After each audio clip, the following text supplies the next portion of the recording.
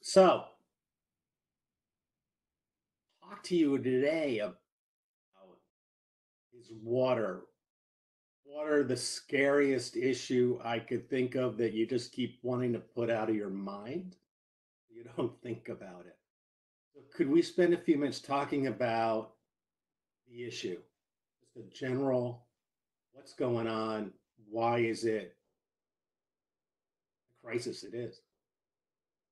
Well, first of all, we shouldn't put water out of our mind. In, in fact, what do the st- statistics say? You can last, what, three weeks without food? Then maybe three days perhaps without water.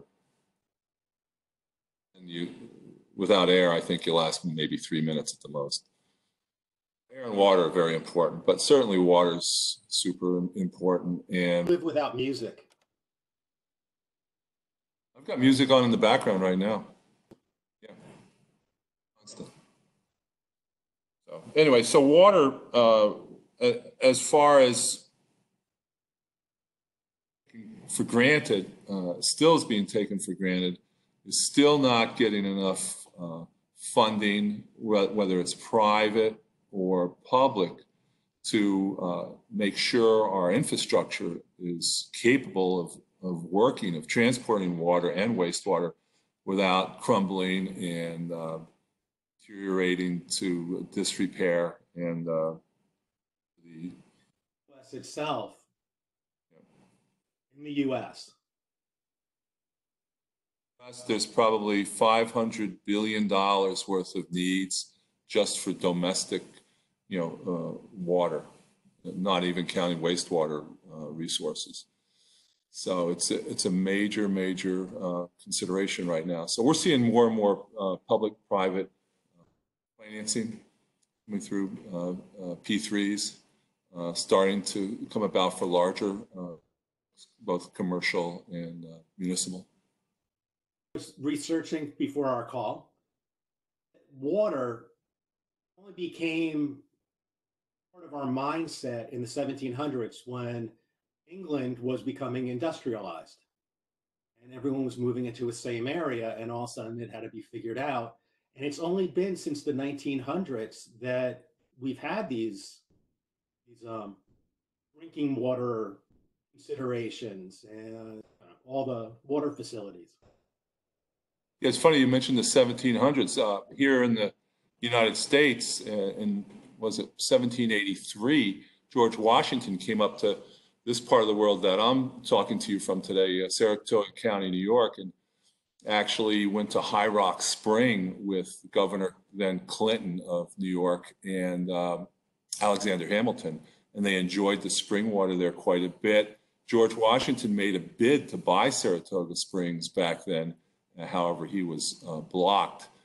People still come to this area th- these days for uh, commercial purposes because of the abundant waters up here. So you'll, you'll see uh, enterprises like uh, GlobalFoundries, the massive uh, chip fabs uh, they're building in Saratoga County now as a result of having an abundance of water in upstate New York. However, that's not the case um, in other parts of the country and certainly the world. It's drinkable water. That's the key. drinkable water and of course the uh, for commercial for the fabs that, that's used for process for the chip uh, chip fabrication. And you used to see these types of fabs a lot in the southwest in arizona and texas but we're seeing a migration now and it's not they're not coming here for the weather. They're coming here for the water. It's like humphrey bogart in casablanca you know? Was it? Louis asked him, you know, Victor bartender, you know, why why did you come here? And I came here for my health. I came here for the water.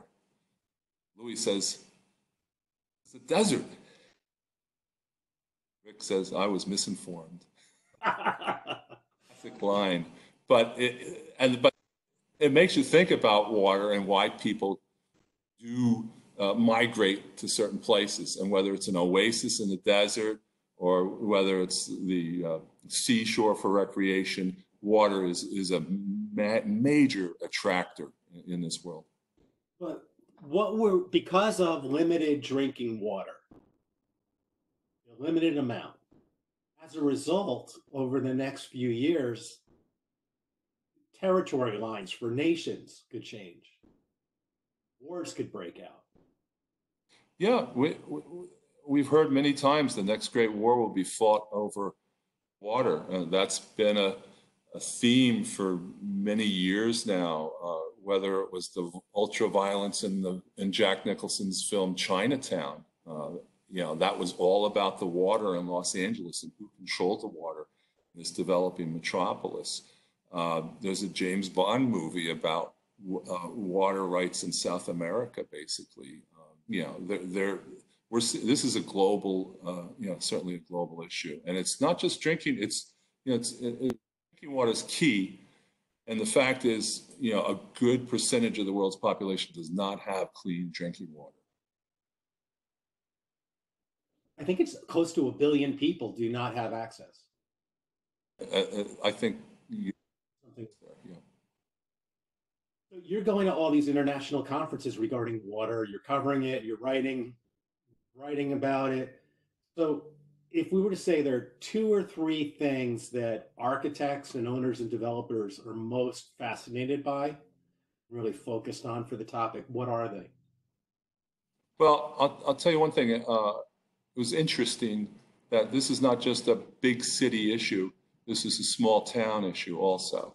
So if you're a commercial developer, say in Arkansas, uh, and I'm thinking of a community called Southside right now, and they were dealing with failing septic tanks for many years that that really contracted uh, possibility of commercial development uh, going on when they converted from septic to sewer, that enabled economic growth for, the, for this uh, town of Southside.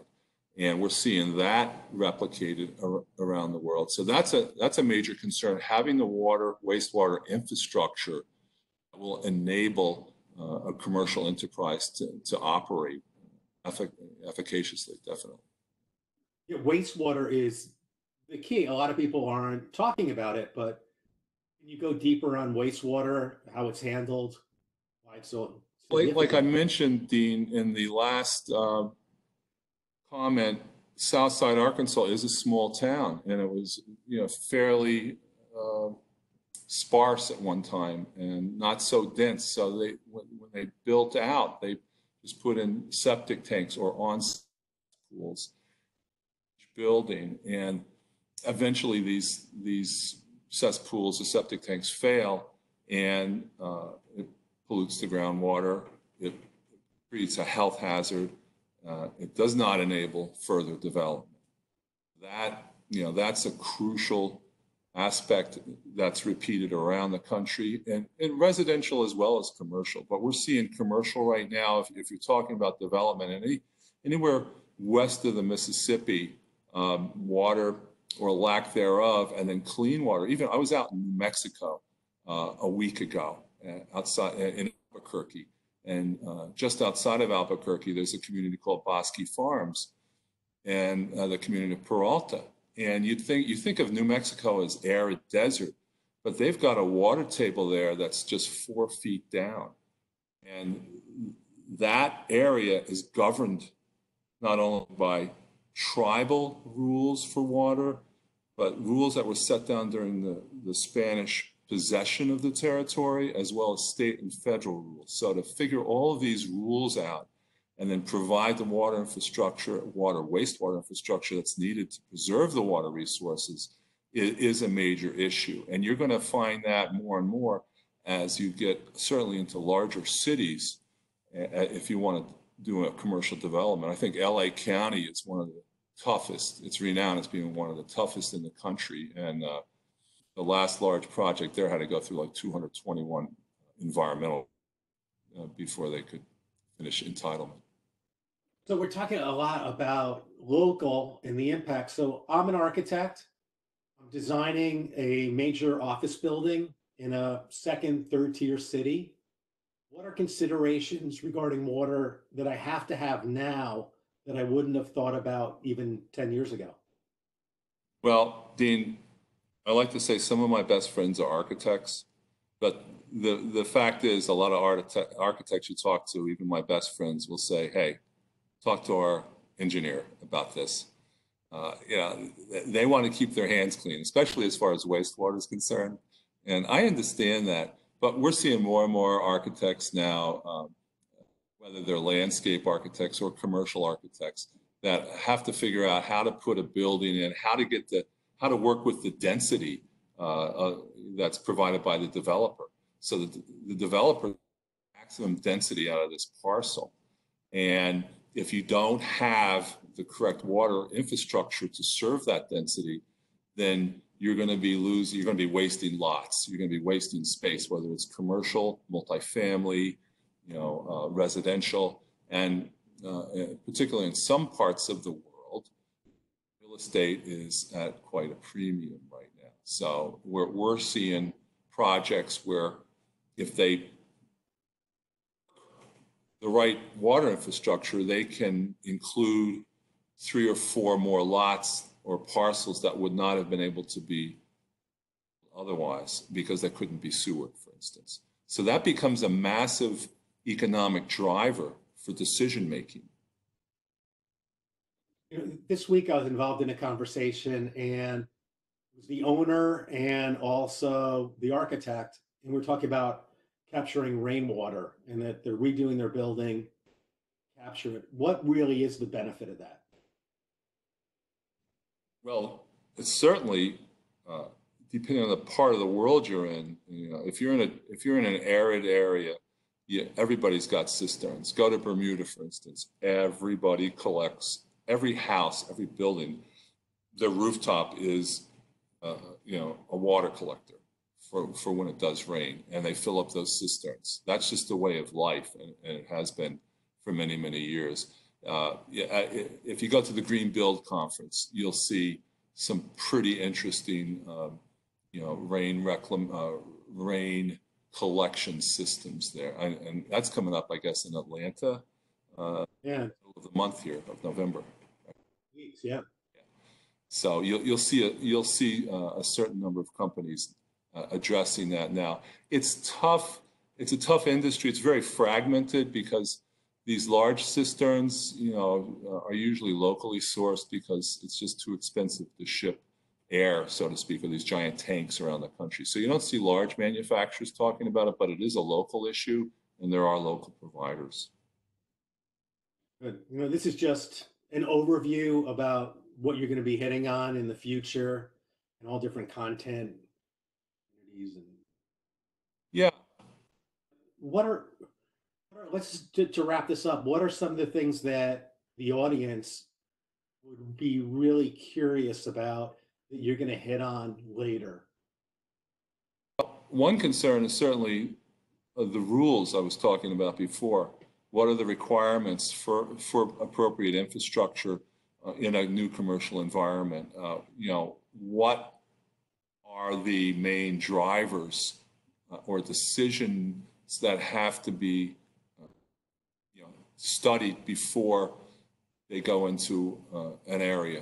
Uh, you know, say there's a beautiful piece of land and perfect for, say, um, a shopping environment. Mixed use with re residential also. However, there's no way to sewer it. Does that land go wasted? Does that looked over? And I think I can provide a lot of information about how to meet challenging uh, land, meet challenging rules, and meet challenge and meet the challenges of financing these projects also. So it, it's it's about putting people, ideas, and money together in a very collaborative sense. And we're seeing, as far as project delivery, that's evolving also. And we're, we're seeing more and more uh, projects delivered, not just uh, design build, but more uh, construction manager at risk CMARP type projects, as well as these P3s. So hopefully I can provide some more insight in, into that changing landscape because that that can be a little bit confusing, if not uh, mysterious, uh, you know, to, to uh, somebody just getting into into that market. Great. Thanks for doing this for commARCH. It's my pleasure. I'm very excited about this mission that you're on, and uh, you've assembled such a great team, and uh, you know, glad to be a part of it.